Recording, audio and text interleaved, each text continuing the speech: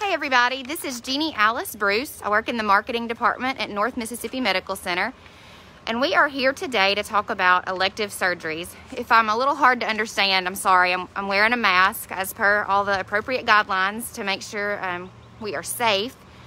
But we just thought it was important to talk to you about elective surgeries and talk about why it's important and talk about what we are doing to keep our patients and staff safe. So I want to introduce Dr. Heyer and Dr. Berry. They are here to talk to us. Y'all come over here um, right in front of the sign if you don't mind. So just start, um, Dr. Heyer, introduce yourself real quick. Tell us about you.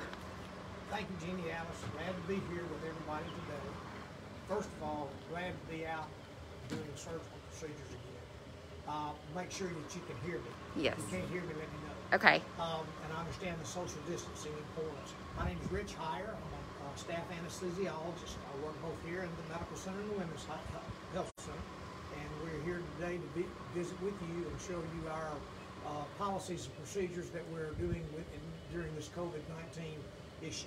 Okay.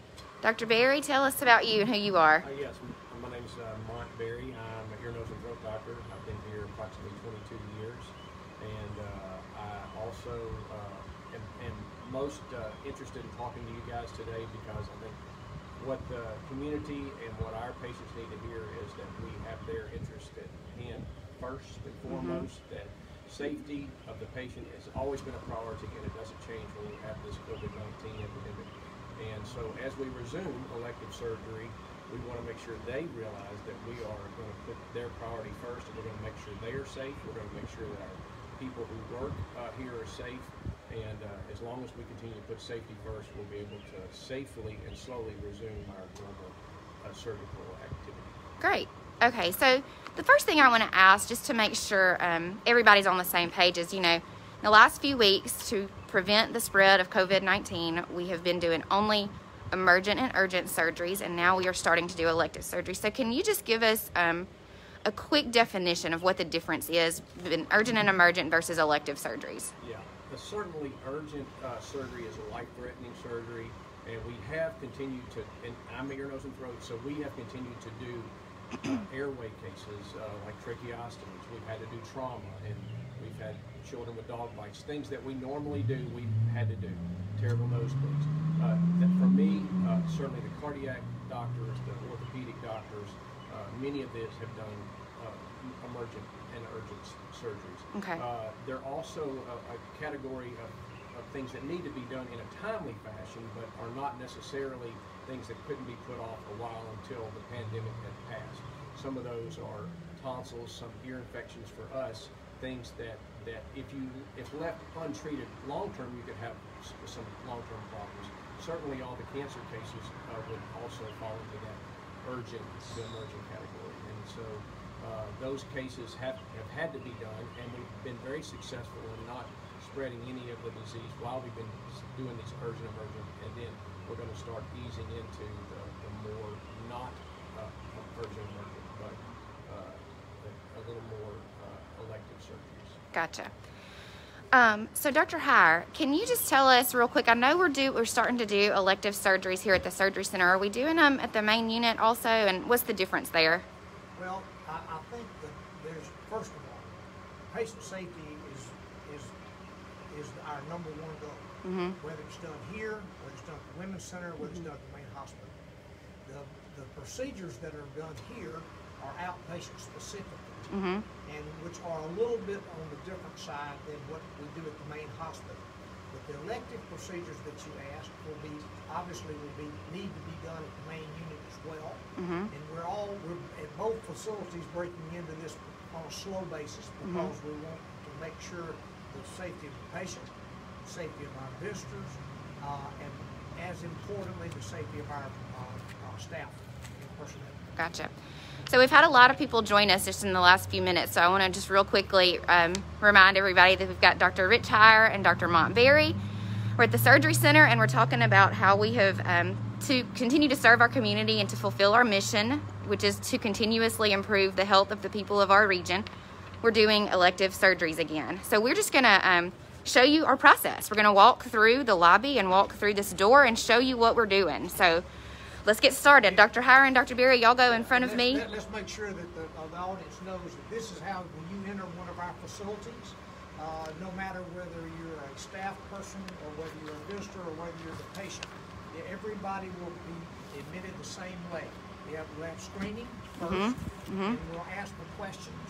You have any symptoms or, uh, of, of the COVID virus that we need to know- about and aware of. Mm-hmm. So what you're gonna see is exactly what our patients and our visitors, uh, and staff, uh, go through each day. Okay, great. Let's do it. Dr. Berry, go ahead. So we're walking through the door, and Dr. Berry is going to stop and get his temperature checked.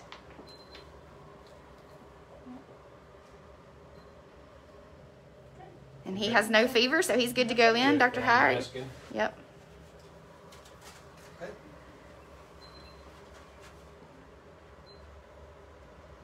I don't have any symptoms either. Great. Okay, she's already checked my temperature when I got here, and I'm good to go, and I've already got my mask on. So we're coming into the lobby, and so tell us what's different in here than normal. Well, obviously, you can look and see uh, that the chairs are socially spaced and socially distanced. Normally, we would have, you know, these in close proximity, but uh, they have spaced them out so that you could possibly sit with the family unit, but, but separately from anybody else who may need separation, so. that- Okay. That's the new recommendation. And that's been the approach for a lot of us, from the offices to here, is uh, whether you wait here, whether you wait in your car, because of the ability to communicate with each other, we can, we can separate and still operate in a timely fashion of getting people from a waiting place back into where we need them to be. Okay. And so has it, has it changed as far as how many people are allowed to be with each patient in the waiting room? That's correct, yeah. We, they just allow one patient, uh, to, to, uh, wait with the patient, whereas used to, uh, we had more, now it's just one. Okay. Dr. Heyer, I see some tape on the floor. What's the deal with that? What does that do? Well, if you've, um, if you've been to, uh, our local grocery stores, you Mm-hmm. probably recognize what this is. But we actually did this prior to our grocery stores and Mm-hmm. places doing that. It's, it's to allow for, uh, social distancing. Okay. That, the ter- terminology people are learning. And, uh, so that each patient, as they enter into the surgical arena, we go one at a time, and we have a line by which they have to, uh, form behind. Okay. And the social distancing is, as Dr. Berry, uh, uh, described, uh, obviously the waiting area looks much different than it used to. Right. Uh, and, uh, there's probably as widespread, uh, separation here as, as I've seen in any, any facility that I've attended. Okay. And I'm proud of that for us. Right. Okay. So after we are in the lobby and we are appropriately socially distanced, where do we go next? What happens next? Dr. Berry? Doc- Yeah. we- You wanna lead the way? Are we going straight to the? You wanna go to the operating room? Is Sure. that where you wanna go? Yeah, they just, Uh, Dr. Berry will be here, the next group of patients will be here. Right.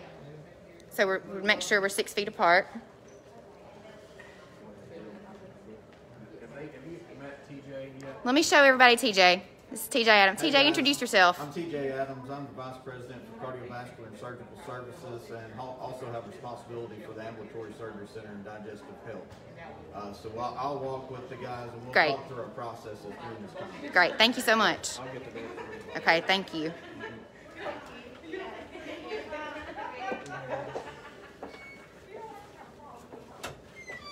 I think we'll make sure we introduce our staff. Connie? Yeah, sure. I'm going to turn this way since the board is that way. There we go. Hey. Hey, I'm Connie. Hey, Um, Connie. I'm charge nurse and pre-op area. Okay. Great. Thank you. And Connie would be the, the nurse, uh, uh, that would knock on the door and ask for the patient to come back. And she would assist them from seeing them and would escort that patient to, to its individual rooms. Okay. Great. That's another good thing about this facility versus a lot of uh, holding areas is you have very individual rooms that you, you don't just have a curtain or whatever between. You've got, you've got nice. Mm. It's very separate. rooms That people are very separate. Okay. Great. All right. Which way are we going now? Okay. I'm going to. We got a board back there, so I'm making sure I don't show patient information. Yeah, okay. Yeah, Okay. good point. Very good. Let's show them all the rooms. Yeah. Dr. Berry uh, Yeah. eloquently described, and that, I think that's a, you know, very, very important factor, that each visitor and patient has a separate room. Mm-hmm. Right. basically, you got all your monitoring stuff, TV, if you have a little bit of a wait, you've got your privacy here. Mm-hmm. Again, we're just gonna have one waiter, one person waiting at this time. Right. And uh, basically, uh, you'll wait here until your time of surgery. You'll have your surgery, you'll have a Mhm. recovery experience in the recovery room, and then you'll come back to this. Okay. So uh, your family will just be waiting there to talk with the doctors and and anesthesia. So y'all talk to me a little bit about um, the differences in what you're doing in. Step this way a little bit so I don't get that board in the background if y'all don't mind. Sorry. It's. Um, so just talk about what you're doing in the surgery suites that's different than normal. We've got a patient coming through. Let's step this way. Okay. Okay. So y'all, Dr. Heyer, you start. Tell us a little bit about that. Uh, Each patient, first of all, in each room, we have sterilization, um, both gloves, wipes, and hand sanitizer. in Mhm. Each room for every patient and for the physician and the staff to utilize prior to uh, uh, walking in. Mhm. Okay? Um, We, we, we we harp on that sterility, Mm-hmm. and everybody has a process and policy by which they follow to do so.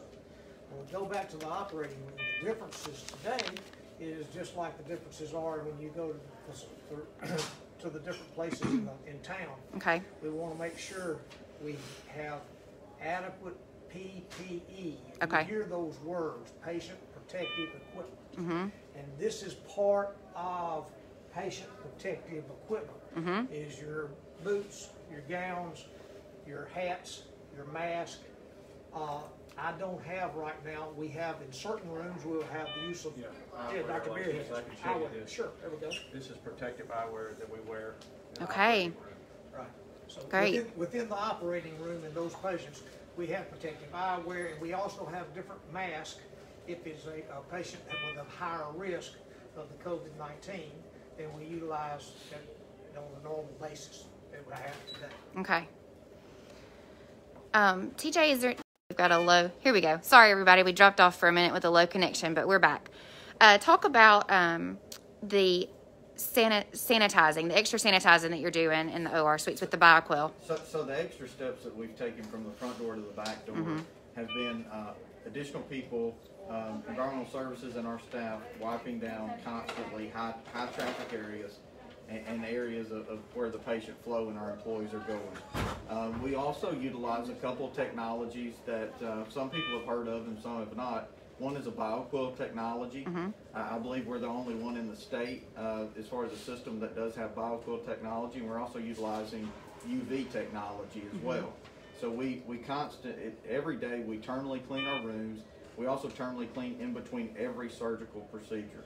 In addition to that, we're also bioquelling and are using UV technology. Okay. So, uh, from, from a safety standpoint, we've taken those additional steps. We, we have utilized Bioquell and U, UV technology for a number of years, but uh, our rotation now has increased uh, during this pandemic. And what does the what is Bioquell? Bioquell is a uh, hydrogen peroxide. It, it, it's a unit that based into uh, an operating room, and it takes about an hour to an hour and a half to sterilize or disinfect that, that, that room. Gotcha. UV is, is basically, it, it is UV light, and, it- and its turnaround time is less, um, but the surface area, it, it, depends on the size of the units. But Okay. So we, ha- we're, we're offering both of those. Gotcha. Okay. Let me mention one other Yes. safety measure that we're taking. Uh, So, uh, people have talked about at-risk procedures when Mm-hmm. they're talking about specific procedures that the patient's having. Okay. And those are potential aerosolization. So as they Hmm. saw, when this virus in certain places kind of got out of hand, it was through aerosolization. So Mhm. The viral load, as they feel like, tends to be in the nasal pharynx, in the nose area, and the oral cavity. And of course, we as ENTs, the dentists, the GI doctors, the pulmonary doctors, they all have to enter that oral cavity to do a lot of things that we're doing. So what we're doing prior to any uh, procedure that we're doing now electively, we are testing our patients.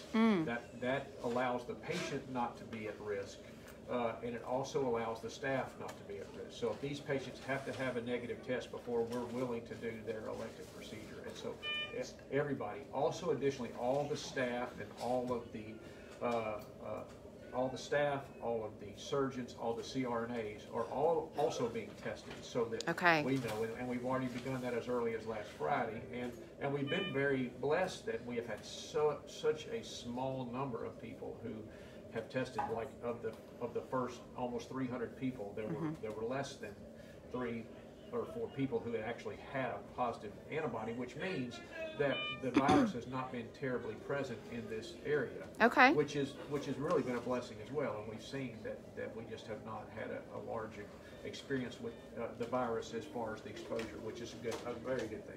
Great. Add- Additional added safety. Right. Okay. We're walking this way. We're gonna walk this way. I'm I'm walking backwards. Sorry. That's okay. Um. Okay. Where are we going now? So we're, so we're just, uh. Go back to the lobby? Yes, we're Yep, gonna go let's back do to the that. Lobby and finish up. Yep. I, I think because of privacy issues. I think that's a good idea. It's, it's, uh, one of those things with Yeah. Good. Okay. So, is um, why it's important to not put off elective surgeries now? Why? Why it's safe? Um, and why? Why now is the time that we need to start offering this again? Um, Dr. Berry, I'll start with you. Sure. Uh, well, the first thing that people need to know is that when they when this virus first came out, people were told to stay home, stay away Right. from the ER, stay away from the hospital, stay away from all the clinics, and, and we tried to shrink to Having some connection issues. Let's move out a little bit more, Yeah, if that's okay. Just right there by that door, I think, was giving me a little bit of a block. Okay, we're back live. There we go. Okay, Dr. Berry, continue talking about the importance of So- why so this is a good of time. Uh, I do feel like that first people need to know that it's safe, that we are making every precaution to the issues that you have. Mm-hmm. But I do feel like that, that if there are things that people have, because what they've seen nationwide is, you know, that people aren't doing heart caths, people aren't doing screening colonoscopies, people aren't, aren't going to the doctor, and, and they know that all the other illnesses that left untreated that could eventually take your life, Right. we know those haven't gone away. And so because of that, people need to understand that if you have health issues, you do need to get those addressed. And Right. Everybody has understandably been, been frightened of getting out and about because I think they've done the right thing. But now I feel like as we safely and uh, slowly resume normal healthcare activities, that people should feel safe that, that we're doing everything we can to address whatever issues that they have. Okay, that makes sense. Dr. Howard, do you have anything to add? Uh, Dr. Berry covers it very well, being the surgeon that he is. I'm, I'm just the anesthesiologist. Mm-hmm. Right. But I think as, as we all know, uh, when you're, when, when we've been isolated over the last six, seven weeks, the, there are health issues that need to be addressed. Mm-hmm. And, uh, those patients, and our patients in our communities that are, are, are at home are wanting to know where we are and what we're doing. Mm-hmm.